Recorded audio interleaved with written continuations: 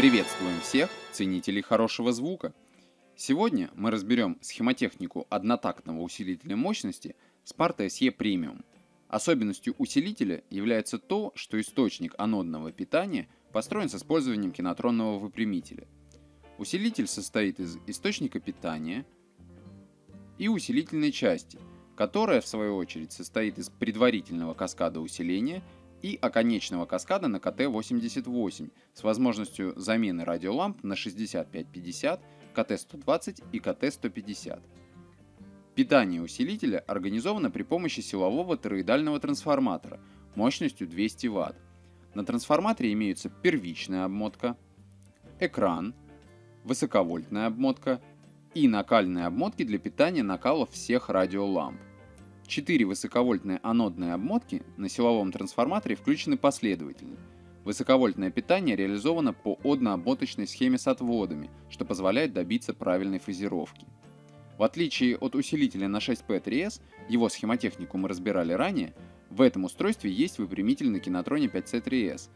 После выпрямительного кинотрона для регулировки напряжения стоит балластный резистор – он позволяет не включать кинотрон на очень большую емкость, и с его помощью можно проводить корректировку напряжения анодного питания. После кинотрона питание поступает на печатную плату Piover, которая благодаря своей универсальности может быть использована в различных конструкциях. На плате собран источник анодного питания, в котором после кинотрона питание поступает на стандартный COC-фильтр. Дроссель подключается непосредственно к плате – и дальше на ограничительные резисторы для питания первого каскада драйвера и трансформаторов выходного каскада.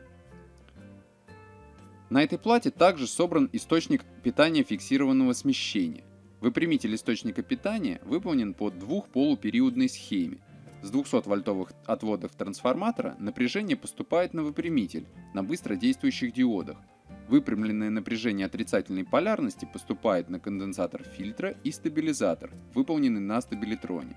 После этого на регулируемый делитель, отдельный для каждого канала.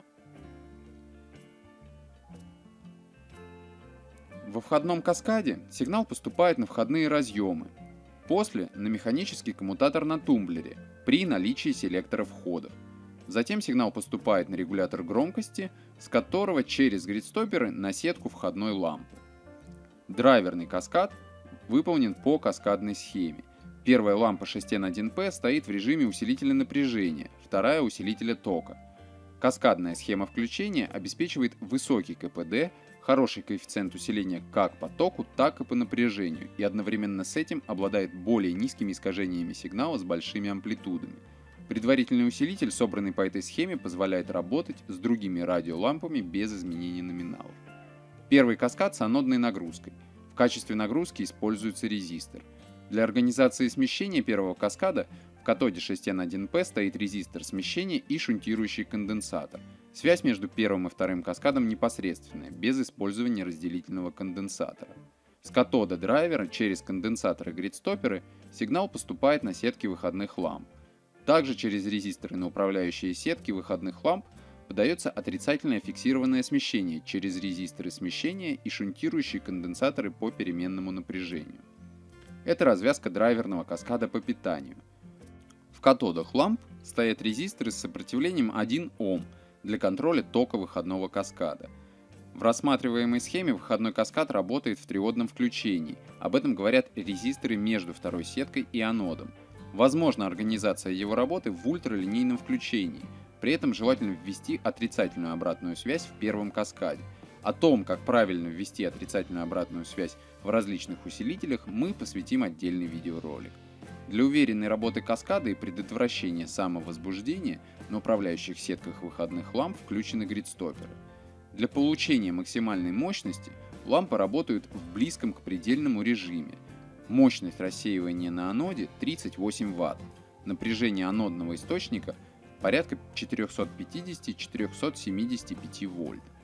Анодной нагрузкой выходного каскада является выходной трансформатор с различными вариантами коммутации. Возможностью подключения нагрузки 4, 8 и 16 Ом.